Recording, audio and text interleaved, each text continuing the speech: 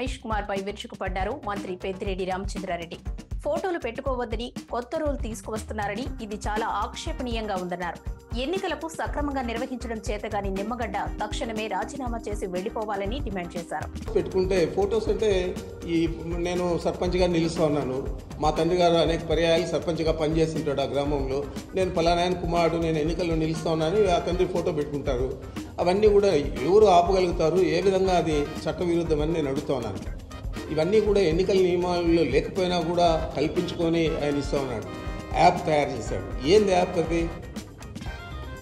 ప్రభుత్వం మీద వైఎస్ఆర్ కాంగ్రెస్ పార్టీ మీద వ్యతిరేకంగా పనిచేయడానికి చంద్రబాబు నాయుడు ఏదైతే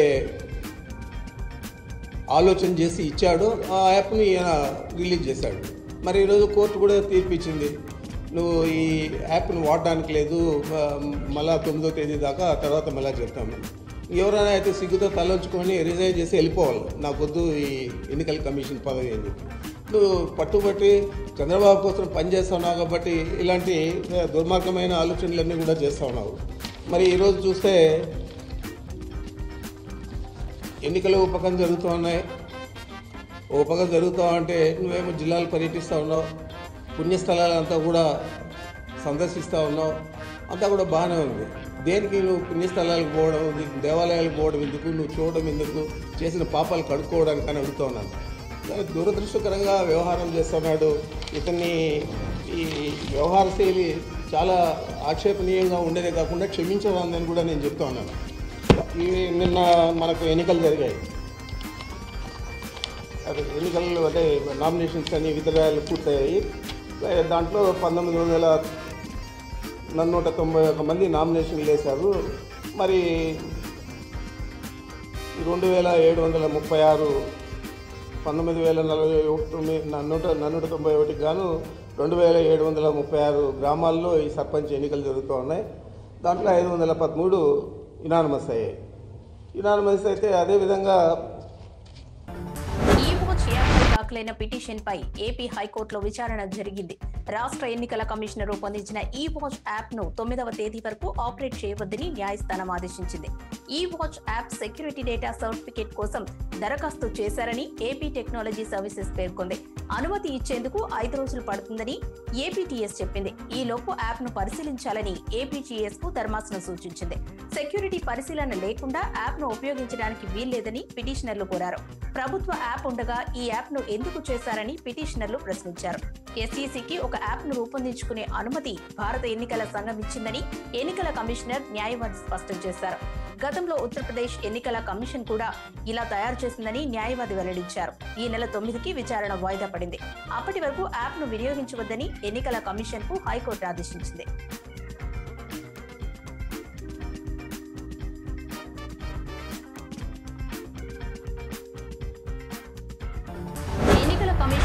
కమిషనర్ రమేష్ కుమార్ తీసుకున్న నిర్ణయం వైసీపీ నేతలకు షాక్ ఇచ్చింది. చిత్తూరు గుంటూరు జిల్లాల్లో అత్యధికంగా పంచాయతీలు ఏకగ్రీవం కావడంపై రాష్ట్ర ఎన్నికల కమిషన్ ప్రత్యేక దృష్టి సారించింది. దీనిపై వెంటనే వివరణాత్మక నివేదిక ఇవ్వాలని రెండు జిల్లాల కలెక్టర్లను ఎన్నికల కమిషనర్ ఆదేశించారు. గుంటూరు జిల్లాలో మూడు వందల ముప్పై ఏడు సర్పంచ్ స్థానాలకు గాను అరవై ఏడు సర్పంచ్ స్థానాలకు ఒకే నామినేషన్ దాఖలు కావడంతో ఏకగ్రీవమయ్యాయి. చిత్తూరు జిల్లాలో నూట పన్నెండు సర్పంచ్ స్థానాలు ఏకగ్రీవం కాగా దానిలో వైసీపీ మద్దతుదారులు తొంభై ఐదు మంది ఉన్నారు. టీడీపీ మద్దతుదారులు తొమ్మిది మంది మాత్రమే ఉన్నారు. అయితే ఇది మొదటి విడత నామినేషన్ల ఘట్టం పూర్తయ్యేసరికి అయినా ఏకగ్రీవాలు. మొత్తానికి రాష్ట్ర వ్యాప్తంగా ఇరవై శాతం మాత్రమే ఏకగ్రీవాలయ్యాయి. వచ్చే మూడేళ్ళలో ఇంటర్నెట్ సదుపాయాన్ని అన్ని గ్రామాలకు కల్పించడం అన్నది చాలా ముఖ్యమైన అంశమని ముఖ్యమంత్రి వైఎస్ జగన్మోహన్ రెడ్డి తెలిపారు. ఐటీ రంగం అభివృద్ధికి ఇది ఎంతో దోహదపడుతుందన్నారు. ఐటీ ఎలక్ట్రానిక్ పాలసీల అంశాలపైనే సమగ్రంగా చర్చించిన CM YS Jagan internet network బలంగా లేకపోతే అనుకున్న లక్ష్యాలు సాధించలేమని తెలిపారు. రాష్ట్రంలో ఐటీ ఎలక్ట్రానిక్ అభివృద్ధికి తీసుకోవాల్సిన చర్యలపై సీఎం సమీక్షించారు. రాష్ట్రంలో ఇంటర్నెట్ నెట్వర్క్ విస్తృతి ప్రతి గ్రామానికి ఇంటర్నెట్ గ్రామాల్లో ఇంటర్నెట్ లైబ్రరీ కొత్తగా వస్తున్న ఐటీ ఇతర టెక్నాలజీ అంశాల్లో నైపుణ్యాన్ని మెరుగుపరుచుకోవడంపైనే దృష్టి పెట్టాలని అధికారులకు సూచించారు. తెలుగుదేశం పార్టీకి తూర్పుగోదావరి జిల్లాలో ఊహించని షాక్ తగిలింది. కాకినాడ రూరల్ మాజీ ఎమ్మెల్యే పిల్లి అనంతలక్ష్మి దంపతులు టీడీపీకి రాజీనామా చేశారు. వ్యక్తిగత కారణాలు కుటుంబంలో వచ్చిన ఇబ్బందుల కారణంగా తాము టీడీపీ నుంచి తప్పుకుంటున్నామన్నారు. కొన్ని పరిస్థితులు పార్టీలు తమను ఇమడలేకుండా చేస్తున్నాయని కానీ ఎప్పటికీ పార్టీకి నిబద్ధులమై ఉంటామన్నారు. స్థానిక రాజకీయ వివాదాలే వీరి మనస్తాపానికి కారణమనేది అక్కడి నేతలు చెబుతున్న మాట.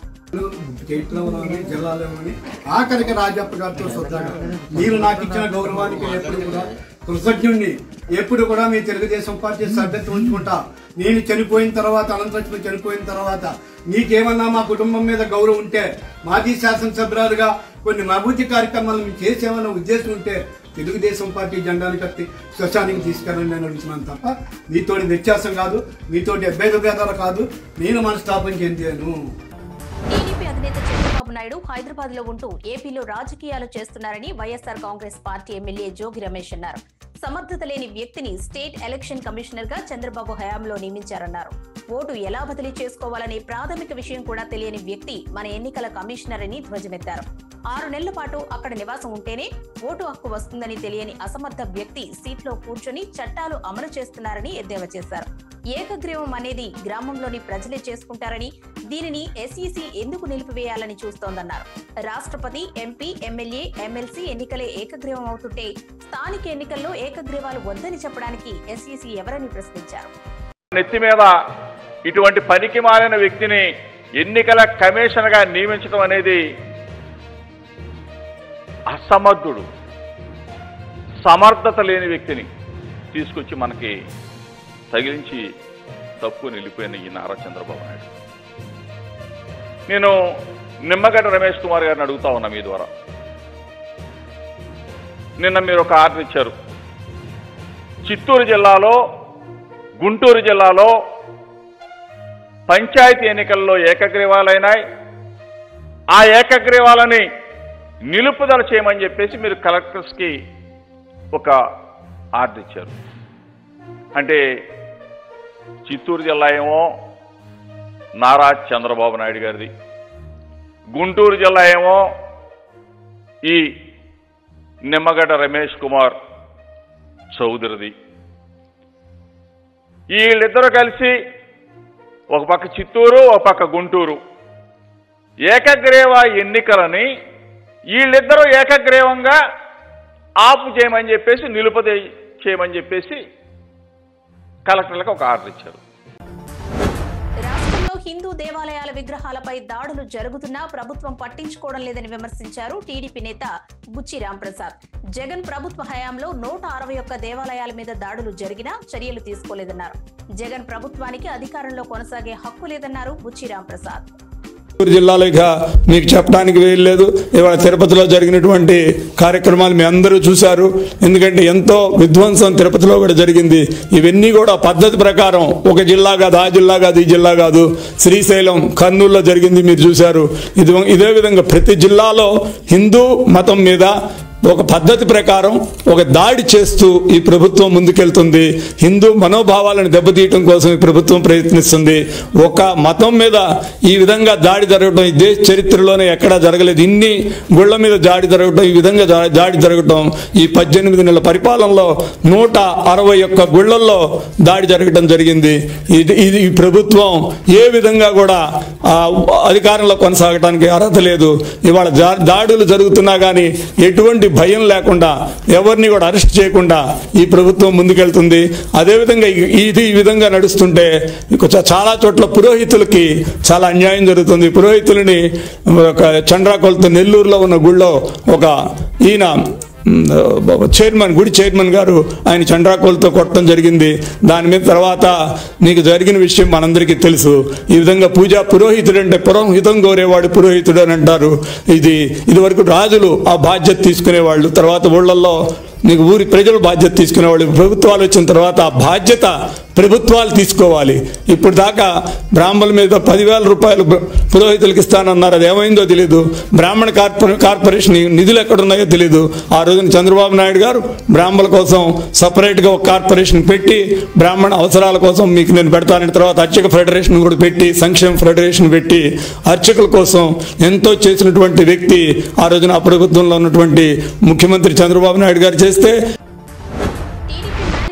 విడుదల చేస్తే వైసీపీకి ఎందుకంత వణుకు పుడుతోందో అర్థం కావడం లేదని విమర్శించారు టీడీపీ నేత ధూళిపాళ్ళ నరేంద్ర కుమార్ పల్లె ప్రగతికి పంచసూత్రాల పేరుతో టీడీపీ విడుదల చేసిన మేనిఫెస్టోపై ఫిర్యాదులు చేయడం సరికాదన్నారు.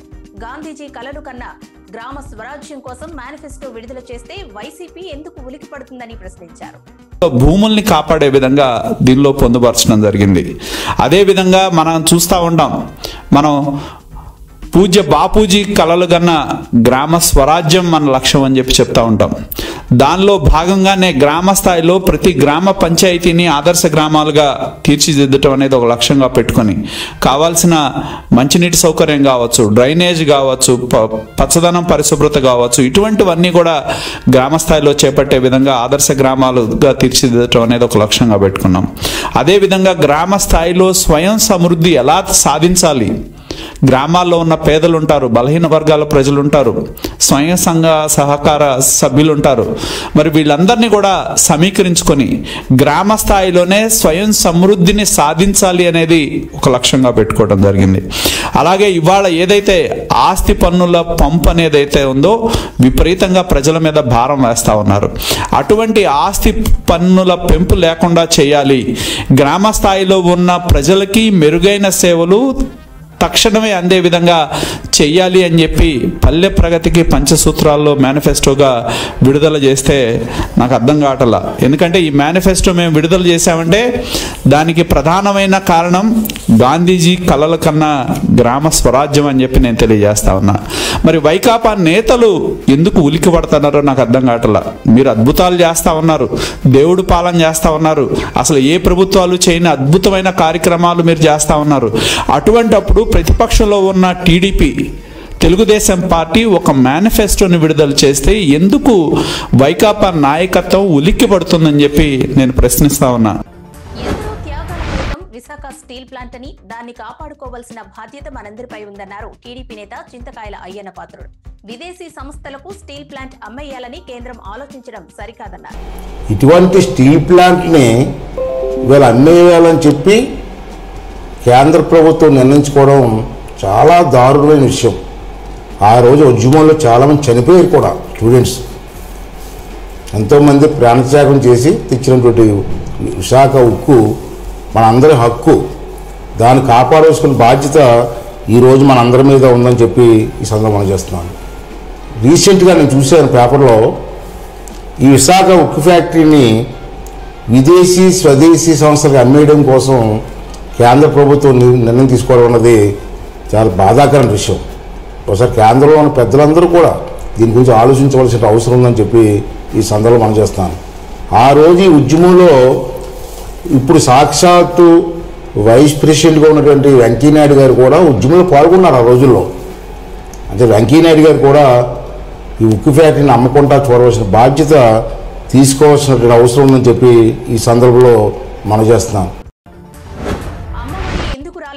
ప్రశ్నించినందుకు ఓ విద్యార్థిని చిత్తకొట్టాడు ఓ ఉపాధ్యాయుడు. ఈ ఘటన విశాఖపట్నం జిల్లా కసింకోట మండలం ఏనుగుతుని ప్రాథమిక ఉన్నత పాఠశాలలో చోటు చేసుకుంది. గత ఏడాది రూపేష్ ఎనిమిదో తరగతి చదివాడు. అయితే అతనికి అమ్మఒడి పథకం వర్తించలేదు. అమ్మఒడి రాలేదని మాస్టర్ని అడిగాడు. అలా అడగడమే తప్పైపోయింది. ఆ విద్యార్థిని మాస్టర్ చితకబాదాడు. ఈ వీడియో వైరల్ కావడంతో ఆ మాస్టర్ వ్యవహారం ఆలస్యంగా వెలుగులోకి వచ్చింది. నువ్వు ఎవరిని అడగాలి డబ్బులు? నువ్వు డబ్బులు ఎవరిని అడగాలి? నువ్వు ఎవరిని అడగాలి? ఎవరిని అడగాలి? నువ్వు ఎవరిని అడగాలి? నన్ను ఎందుకు అడుగుతున్నాడు వచ్చి మీ నాన్నకి చెప్పు. నేను చెప్పడం ఏంటి? ఓ మీద కూడా. ఏ? ఎదురు చెప్తున్నావు ఎట్లు నాన్న ఇక్కడ రావడం లేదు ఏంటి మాట్లాడుతున్నావు నువ్వు? హీరో అయిపోయావా నువ్వు తగ్గించవా? ఏంటా? నువ్వు తగ్గించవు?